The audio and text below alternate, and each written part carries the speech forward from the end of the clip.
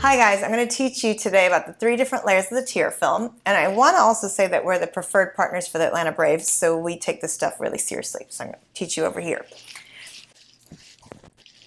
The tear film has three different layers, the mucin layer, the aqueous layer, and the lipid layer. The mucin layer is responsible for keeping the aqueous layer and the lipid layer on the eyeball. But today we're going to talk about the lipid layer. There's a lot that can go wrong on the lipid layer, and that's what I treat a lot of in the office. All of you have in your lids meibomian glands. You see these glands here on the lids. They create the oils that keep your eyes moist and healthy.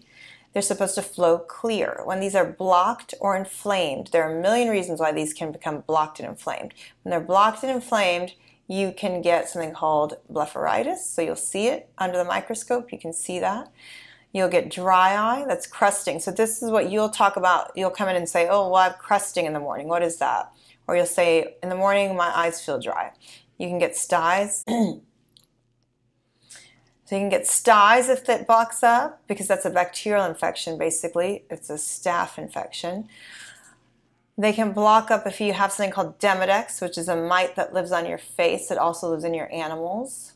It acts differently in animals, though I do want to say that.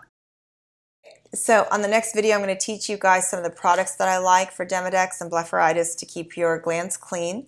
If you'd like us to look at you, you can schedule a, an appointment with your medical insurance to any of our seven offices. Um, I'm also going to create some videos for makeup removal and lash extensions and lash serums that I recommend.